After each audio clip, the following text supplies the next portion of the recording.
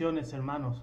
Eh, primeramente, antes de empezar el, tema a tratar hoy, pues, pues quisiera agradecer a todos los suscriptores del canal eh, su apoyo eh, y su confianza en mí Para, para poder explicarle todos estos temas de apologética y la actualidad católica daros las gracias eh, infinitamente y agradeceros siempre vuestro apoyo eh, y vuestros comentarios a través del canal.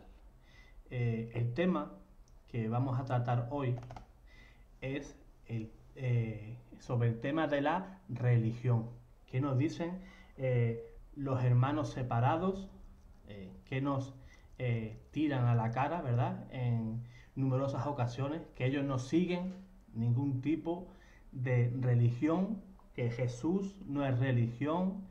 Eh, con Jesús tengo una relación, no una, no una religión. La religión no es el camino al cielo, ¿verdad? ¿Y qué hay detrás de todo esto? Detrás de todo esto simplemente hay prejuicios, prejuicios eh, en contra de la iglesia porque eh, ellos tienen, eh, miran de reojo siempre a la iglesia y ven la religión como, como algo peligroso, ¿verdad? algo pagano, por decirlo en otras palabras. Por eso ellos dicen que ellos tienen una relación, no tienen una religión. Cosa que tener una relación es tener religión. Sin religión tú no puedes tener ningún tipo de relación con Dios. Por ejemplo, ellos leen la Biblia. La Biblia es un libro religioso, les guste o no les guste. Eh, ellos hacen actos religiosos, ellos oran, ellos ayunan, ¿verdad? Eh, eh, y no cabe duda de que todo eso es religión, les guste a ellos o no. Lo que ocurre que nuestros hermanos tienen un mal concepto de lo que es la religión, ¿verdad? Eh, como hemos eh, la religión, según los diccionarios, no lo que diga el pastor de turno, es bastante claro en el concepto y en el significado de la palabra religión.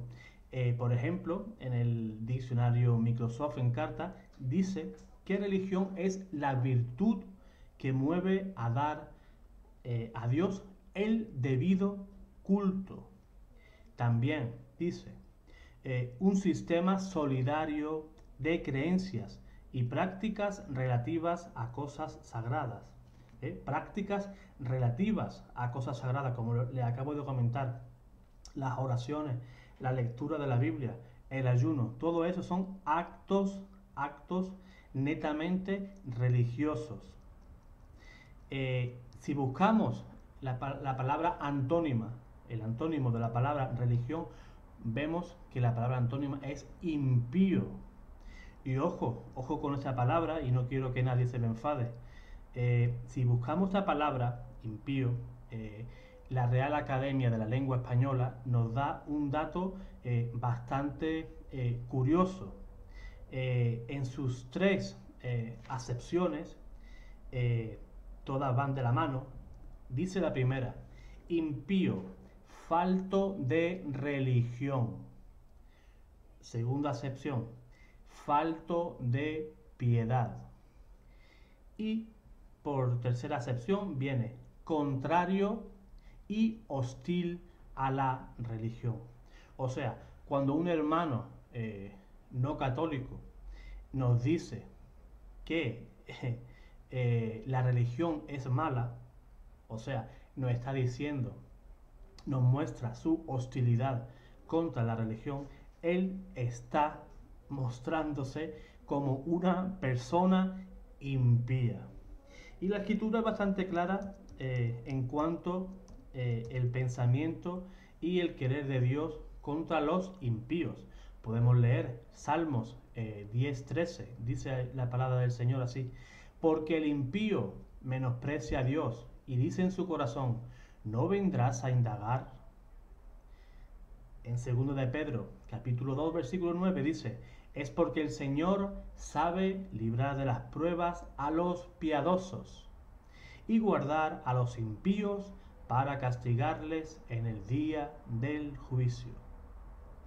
Y por último, Judas capítulo 1, versículo 4 dice, porque se han introducido solapadamente algunos, algunos que hace tiempo la escritura señaló ya para esta sentencia, son impíos, que convierten en, libertinaje la gracia de nuestro Dios y niegan al único dueño y Señor nuestro, Jesucristo. En ningún lugar de la escritura eh, vamos a ver que hable negativamente eh, contra la religión. Podemos, saber, podemos leer, por ejemplo, en, en el Evangelio según San Juan 9, capítulo 31. Sabemos que Dios no escucha a los pecadores, mas si uno es religioso, o según la traducción puede venir eh, si uno es piadoso, y cumple su voluntad, a ese escucha. Santiago 1.27. La religión pura e intachable ante Dios Padre es esta, visitar a los huérfanos, a las viudas y en su tribulación, y conservarse incontaminado del mundo. ¿Verdad? Dice la escritura que mezclarse con el mundo es ser enemigo de Dios. ¿verdad? Y Santiago dice que una parte de la religión es tratar de mantenerse eh, incontaminado del mundo. Y me gustaría preguntarle a, estos hermanos, eh, ustedes no quedarán contaminarse con el mundo, ¿verdad? Pues eso es parte de la religión. Como dice el Señor, sois del mundo, pero no pertenecéis, pero no pertenecéis al mundo. Eh, ser del mundo es contaminarse y, ser eh, mundano, cosa que ningún protestante eh, pienso yo que, quiera, que quiera hacerlo. Además, en cualquier enciclopedia que tú busques la palabra cristianismo, siempre vas a encontrar que es religión y una religión monoteísta. Además, el apóstol San Pablo eh, fue perseguido después de su conversión eh, del, judaísmo al cristianismo, fue eh, perseguido a causa de la nueva religión que había abrazado, la religión, la religión cristiana. los únicos que no pertenecen a ninguna religión son los ateos, ¿verdad? Y yo no creo que ningún protestante se considere ateo.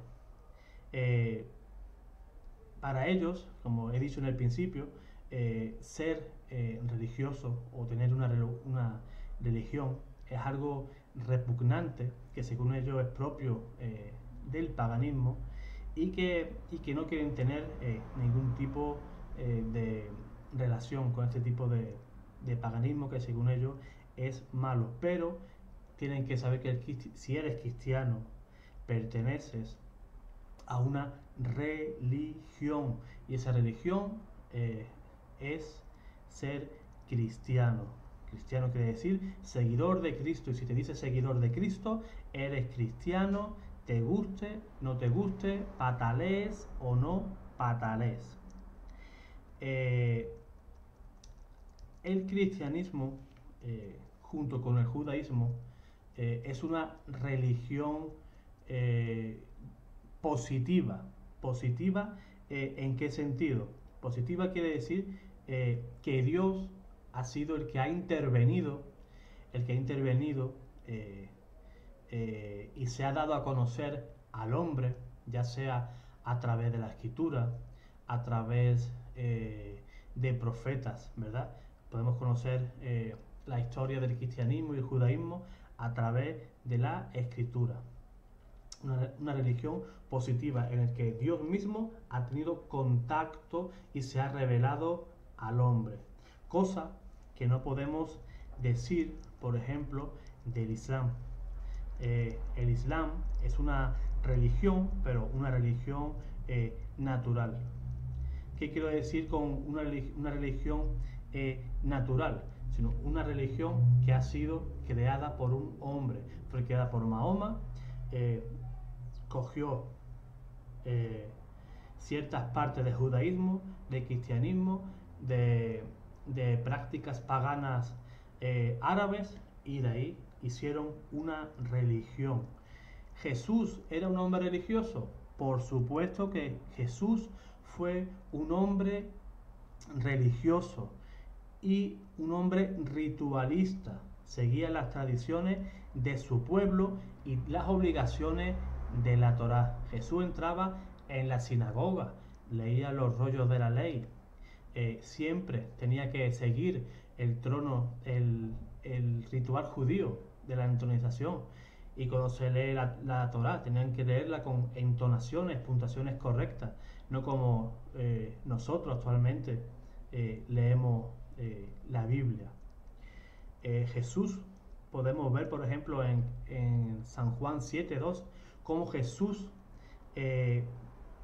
participaba en la fiesta de los tabernáculos, una fiesta eh, eh, judía, una fiesta religiosa. En esa fiesta eh, habían bailes, cánticos, procesiones, hacían procesiones con, con los rollos sagrados, ¿verdad?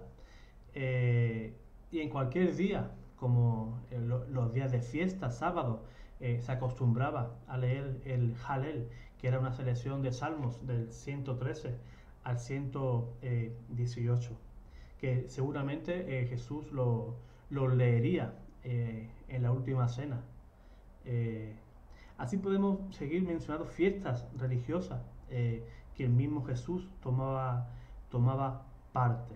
Y Jesús, lejos de repugnarles esta, ese tipo de prácticas, Jesús participaba en ellas. Dios nunca condenó la religión.